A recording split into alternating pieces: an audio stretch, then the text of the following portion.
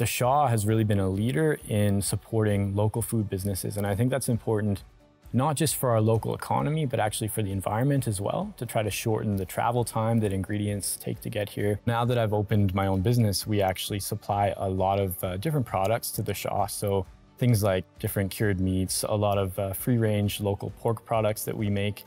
There's a really strong community from the farm all the way to the dinner plate.